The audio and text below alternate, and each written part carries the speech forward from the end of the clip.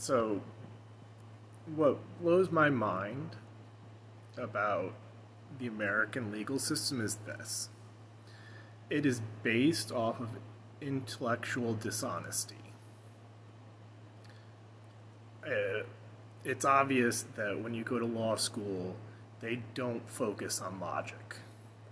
Because if they did, I don't see how you could be a lawyer and go through those motions.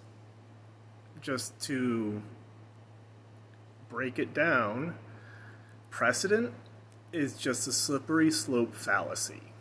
The slippery slope fallacy, for people who don't remember, is when you assume that because something is similar to something that happened in the past and it just goes straight from there without any logic behind it.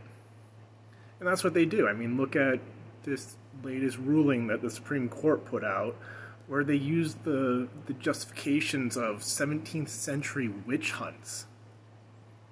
It's insanity like that. And then you have the argument from power, which is another fallacy, which they call jurisprudence.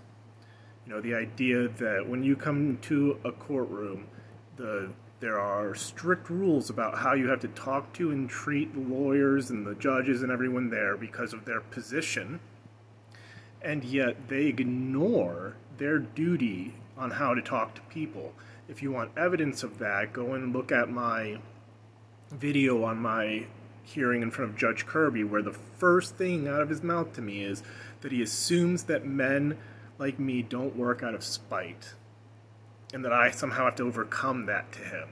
If there's not a more clear definition of bias, I don't know what there is. He admitted his own bias right off the bat.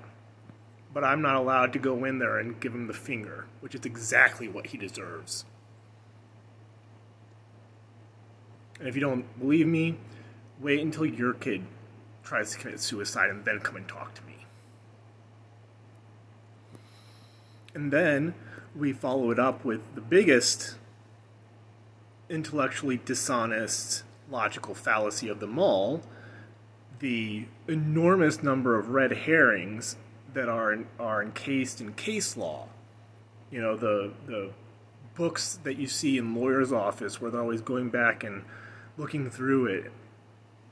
Just because you can pick out one little detail from the past and say, "Oh, look, that's the reason why." That's not logic. That's not reasonable. That's intellectual dishonesty. It's about time that we just told them off and told them what it is. It's intellectually dishonest, it's pathetic, and we need a new way of doing our government.